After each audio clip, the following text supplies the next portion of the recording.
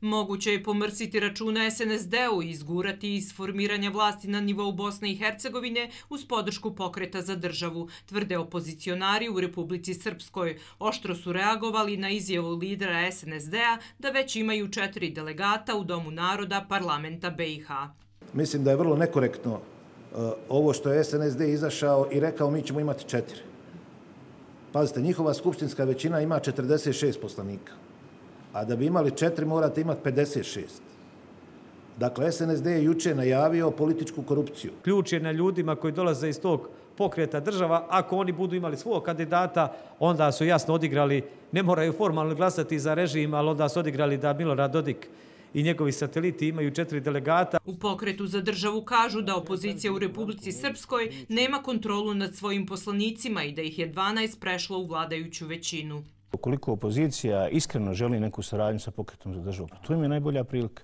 Pokret za državu će predložiti svoju listu za, za državni dom naroda i izaberemo jednog, jednog delegata iz, iz reda pokreta za državu, jednog delegata iz reda opozicije i nastavljamo onda saradnju na državnom nivou. Treba pričekati izbori zaslanika u dom naroda, tu vidjeti ko su političke reprezentacije naroda u Bosni i Hercegovini i na temelju toga formirati vlast. U SNSD-u ne isključuju mogućnost da dva člana predsjedništva preglasaju Željku Cvijanović kod izbora predsjedavajućeg savjeta ministara BiH.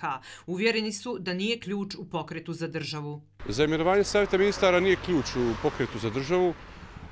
Što se tiče izbora Doma naroda, ja samo reći da je glasanje tajno, da postoji matematika za četiri delegata u Domu naroda, koji će biti iz SNSD-a. Ne treba isključiti mogućnost formiranja vlasti na nivou BiH bez SNSD-a, ali ni zanemariti čvrsto partnerstvo između SNSD-a i HDZ-a koje je na testu. Ako SNSD dobije četiri delegata, priča je završena, smatra politička analitičarka Tanja Topić. To su opcije e, vrlo, vrlo moguće, iako nam na prvi pogled izgleda kao nemoguća misija, ali ništa nije za isključiti iz prostog razloga što smo mi navikli da svih ovih godina gledamo čak i one nemoguće trgovine koje su se odvijale iza kulisa javnosti. Naši sagovornici napominju da će i predstavnici međunarodne zajednice uticati na koaliranje na nivou Bosne i Hercegovine i da su za sada sve opcije otvorene.